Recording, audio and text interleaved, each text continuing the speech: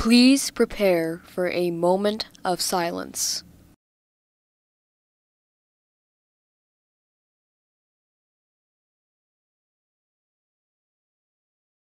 Thank you.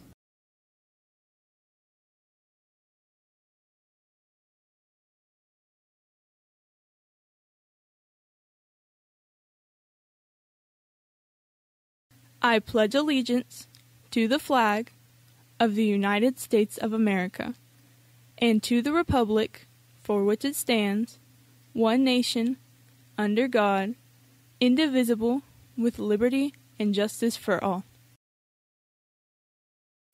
Hi, I'm Logan here, along with our new host Ginley, and here are our junior high announcements. The Valentine dance will be Thursday, February 8th at 6 to 8 p.m. in the junior high gym.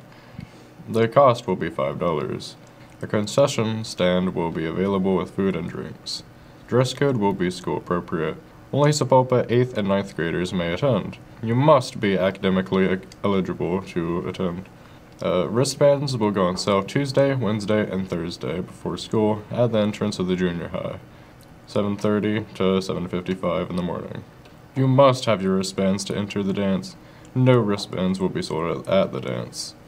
Valentine candy grams will be sold at the dance and also on the 9th, the 12th, and the 13th, before school at the entrance of the junior high.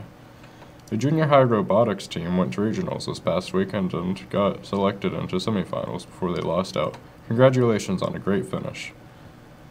The junior high academic team will have their first meet in Tulsa Union today at 4:45 in the evening. If you have not heard, this year's school musical is James and the Giant Peach. It will be showcasing on February 29th and March 1st and 2nd at 7:30 in the high school auditorium. Adults are $10 and students get in free. JROTC Precision Rifle Team will travel to compete in the JROTC Service Championship in Salt Lake City, Utah. At the basketball game on Friday night, the Midwinter Court will be recognized along with all of our All State choir and band members. Lastly, the team travels to Holland Hall this Saturday for varsity matchups only. We have Midwinter Court on the 26th. We have Wrestling Senior Night on February the 1st. Teacher of the Year celebration will be the 9th of February, and Basketball Senior Night will be the day before Valentine's Day, the 13th. Stay safe and warm, junior high.